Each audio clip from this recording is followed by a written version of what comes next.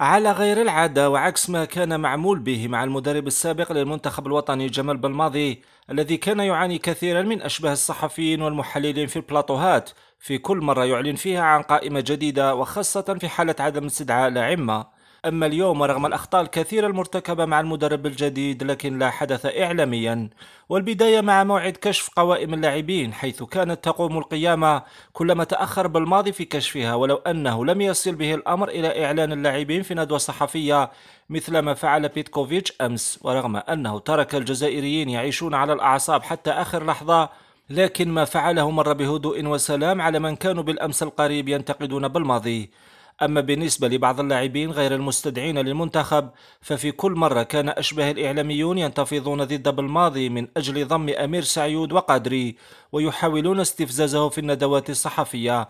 وها هو اليوم بيتكوفيتش يواصل على وجه الخصوص إبعاد هذين اللاعبين ومع ذلك لم نسمع أي رد فعل أو هجوم عليه.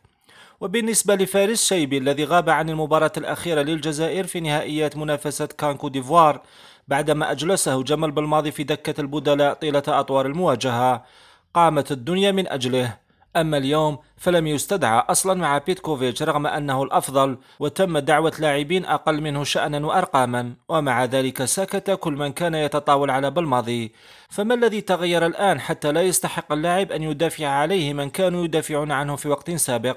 شاركونا بتعليقاتكم ولا تنسوا الاشتراك في القناة ليصلكم الجديد دائما.